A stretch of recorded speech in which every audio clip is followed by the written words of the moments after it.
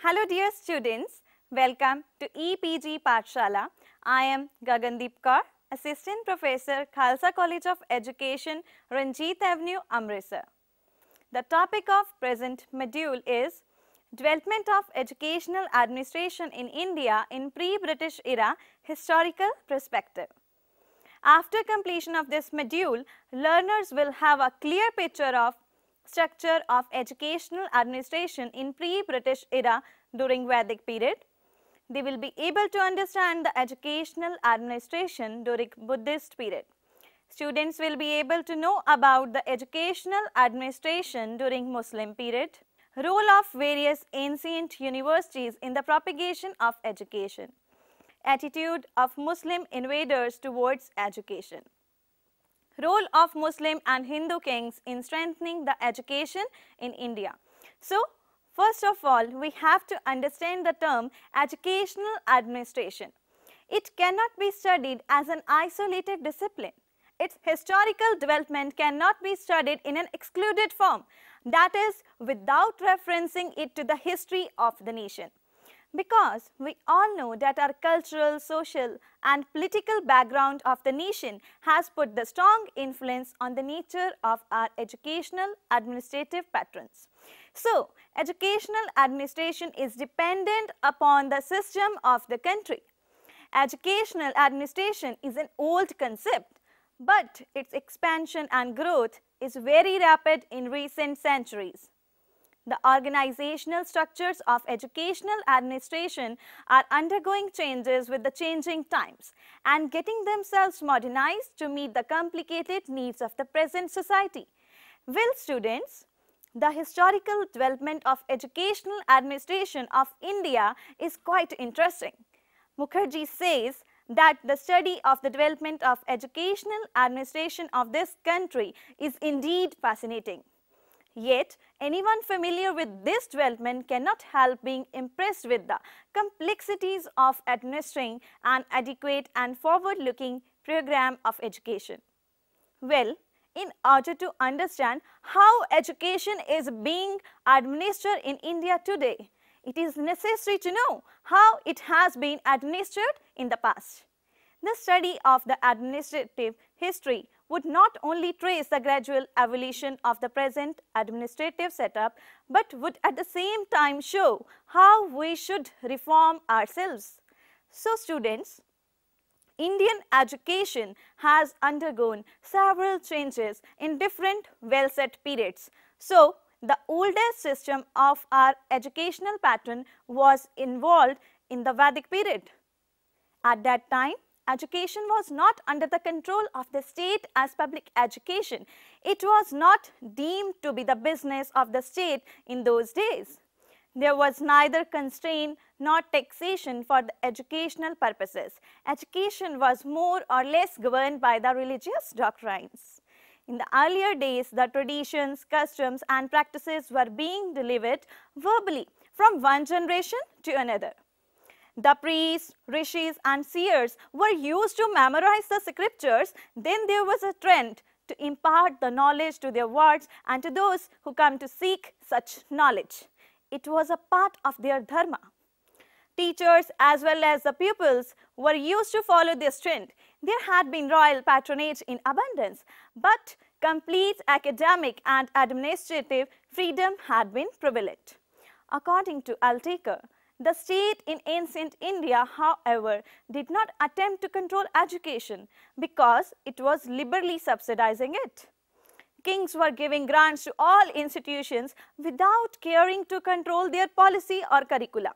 So, students, it was in the Sutra period where the educational administration of India really began.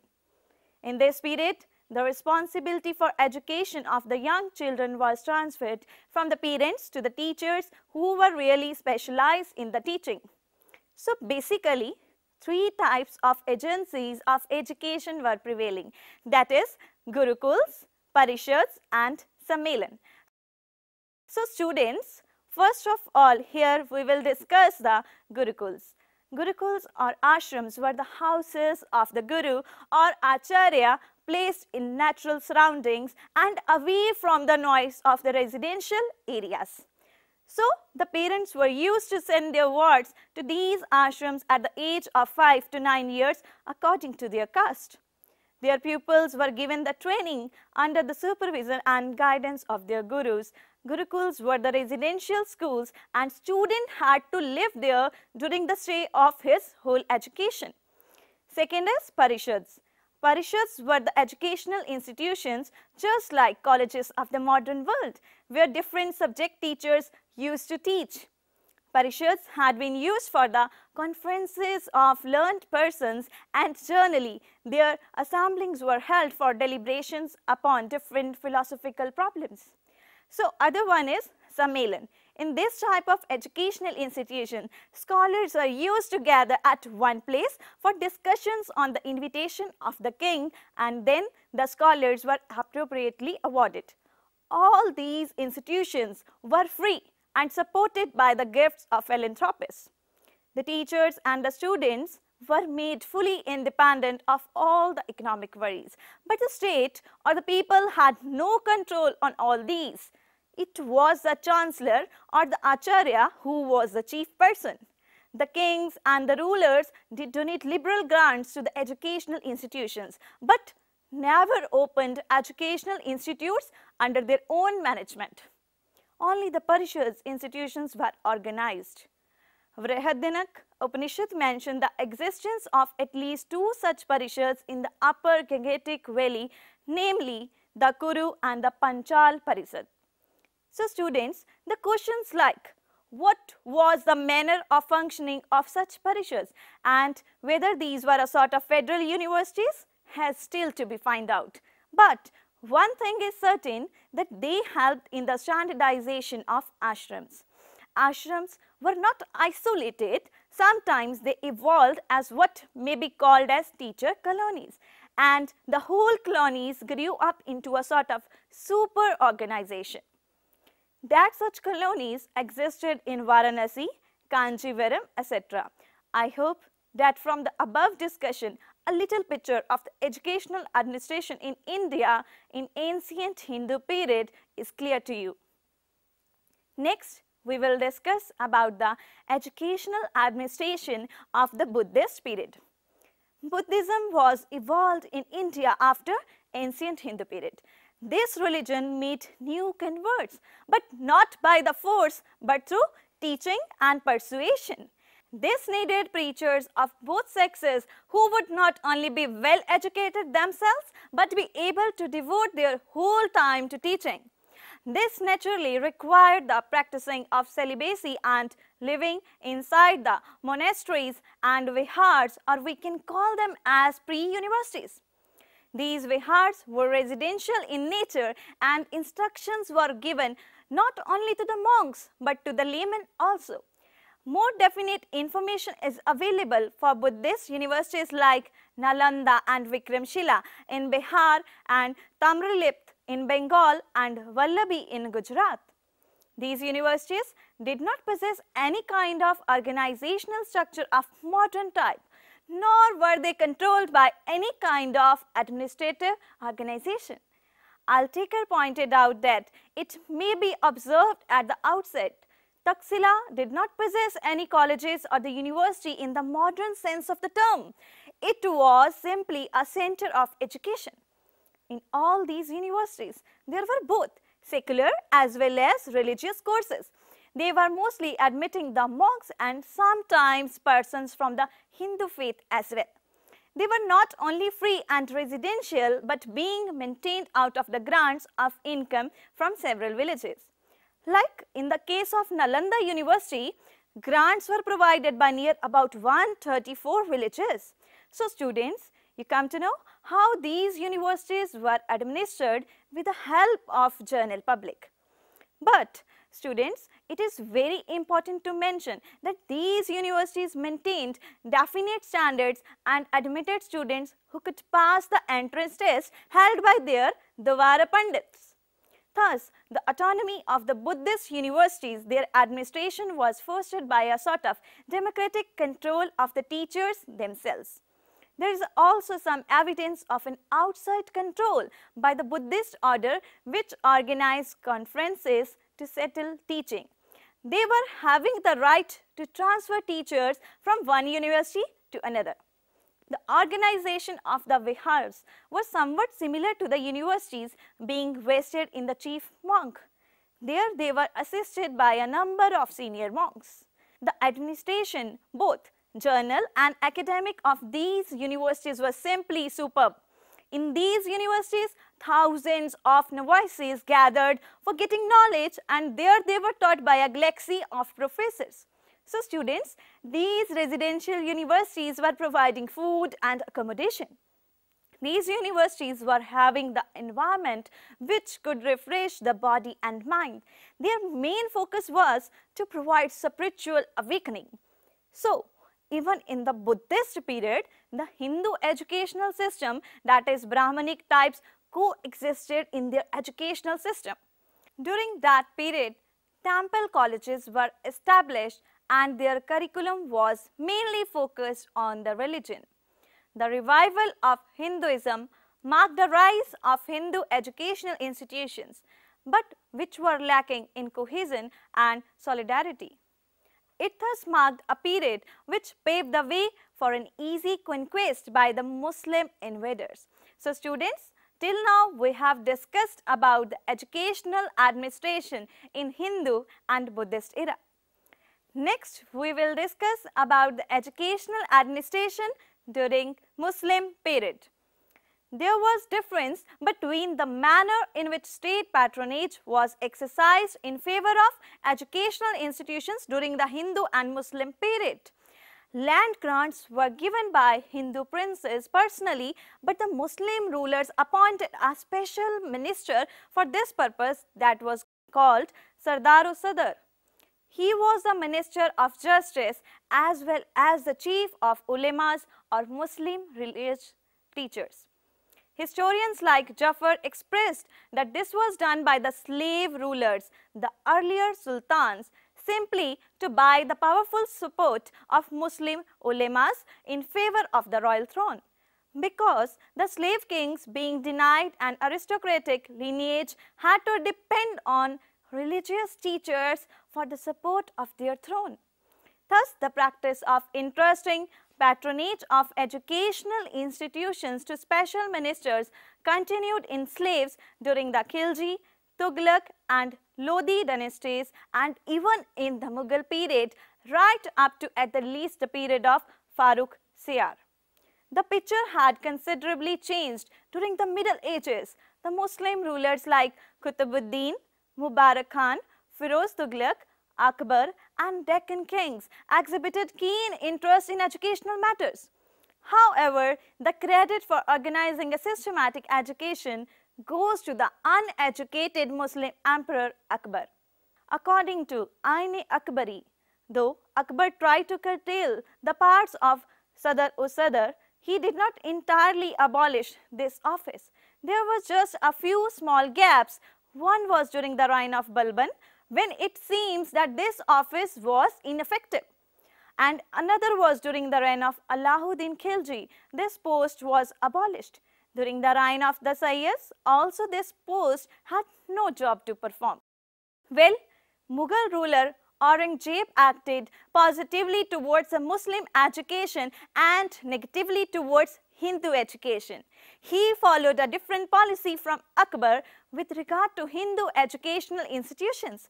For instance, in 1669, he ordered the provincial governors to destroy the Hindu schools and temples within their jurisdiction.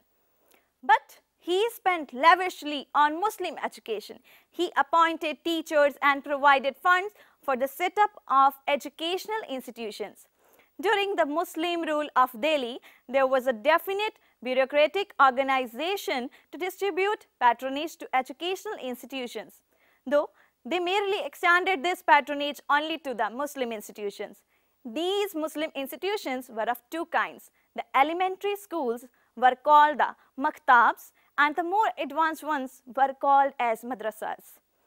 They were run by Muslim theologians and hence religious teaching was compulsory.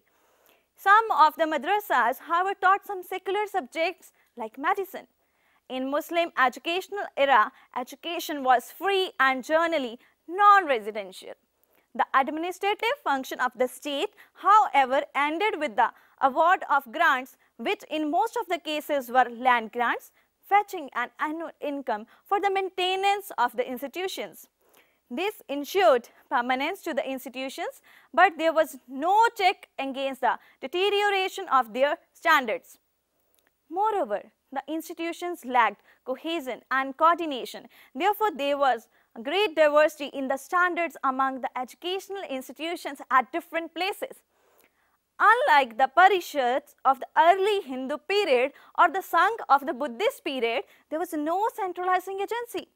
The state ceased to function once the endowment was granted. The order of Muslim ulemas did not bother much about the quality of teaching available at the centers. It simply agitated for more centers being opened so that more teachers might be employed.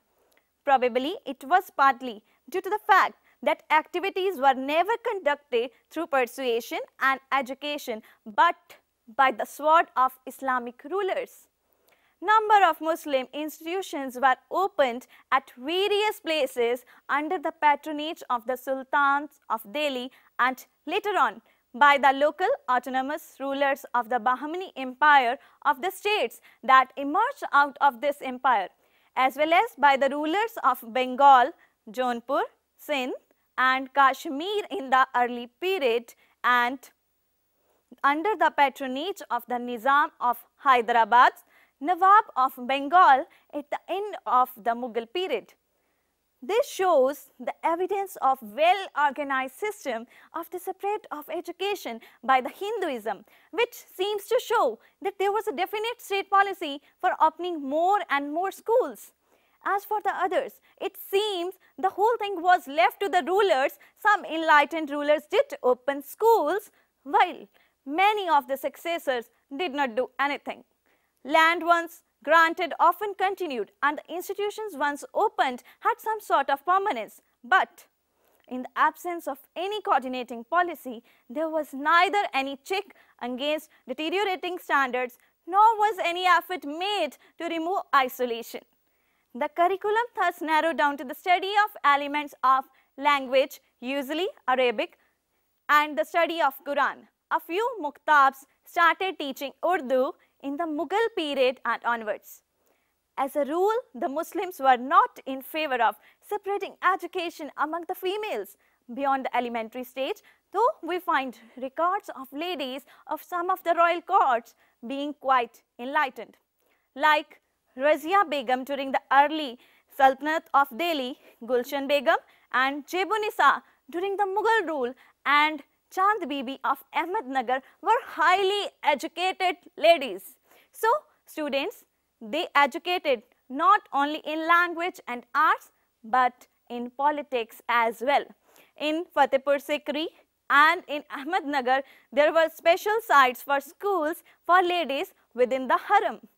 Muslim rulers were generally hostile to the spread of education through Hindu institutions.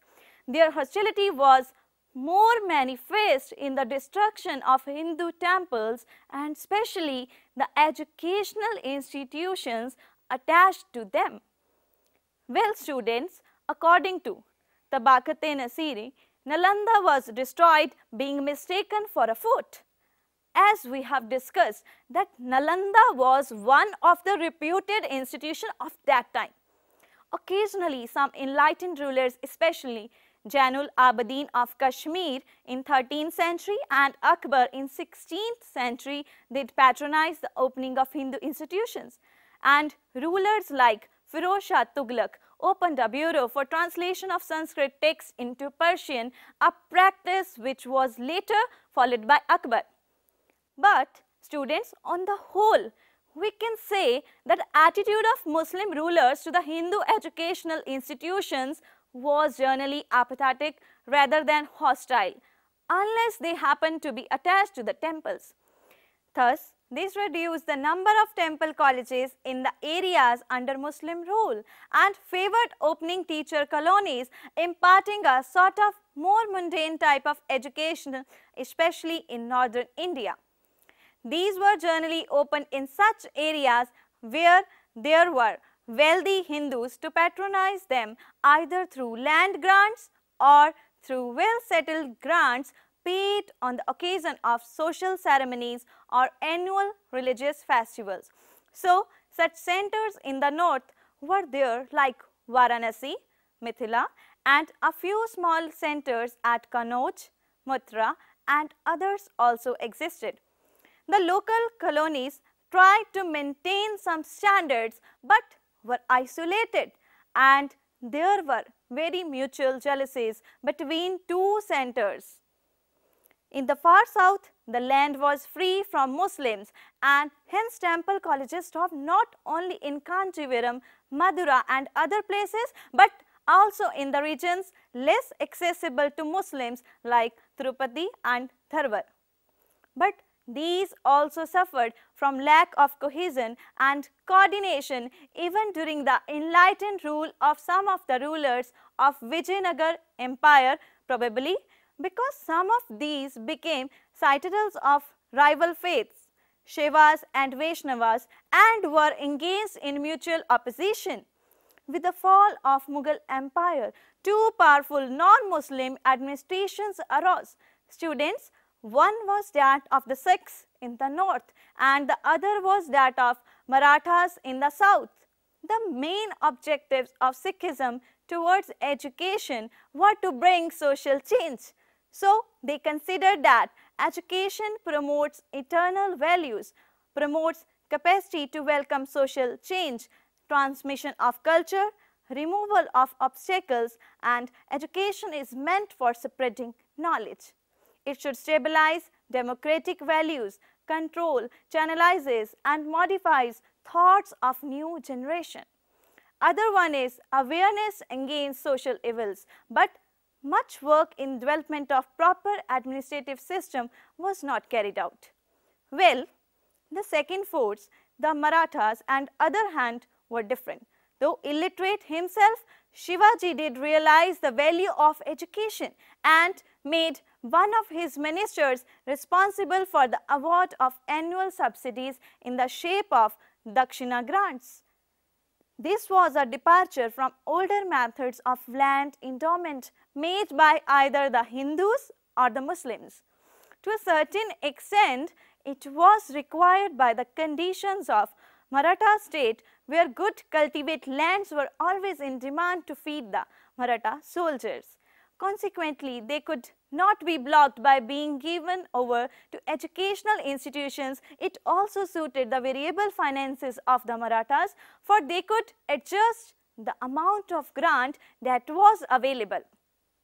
But besides this, it had one good point in support of it, it provided a means of annual assessment of the efficiency of the institutions. Though we know very little about the immediate successors of Shivaji, it is definite that Peshwas, who became the ultimate successor of the vast Maratha power, did continue the practice and organize annual conferences whereby the grants were dispersed according to the ability of the participants. When Baji Rao II was deposed, the amount of money dispersed as grants through Pune ministry was something like two and a half lakhs in Indian currency. Thus, at the end of the Muslim rule, we find that though educational institutions existed at various places, they lacked both cohesion and coordination with varying standards for they were all issued a fixed grant mostly through the income from endowed lands. This was true both for Hindu and Muslim institutions. Within the Maratha Empire alone, some sort of efficiency was maintained through Dakshina grants which were liable to vary. Corruption, intrigues and nepotism, however, affected their proper and equitable disbursement and it was not always that consideration of justice alone settled the amount of grants that were paid. Well students, to conclude we can quote Mukherjee who rightly observes, it may however be noted that during the pre-British days, a state administrative machinery of the modern type did not exist and education was self-controlled. That historical background tells that there arose no need for development of any kind of state administrative system of education either in ancient times or in medieval times. So, students, I hope that now you are familiar with the educational administration during the pre-British era. But some of the state interference had been noticed in the medieval ages and this was only in the recent centuries that the direct responsibility of the public education by the state and external controlling system have evolved to see that whether the funds provided are properly utilized and instruction is efficiently offered. Thank you so much for watching and I hope that the topic is now clear to you.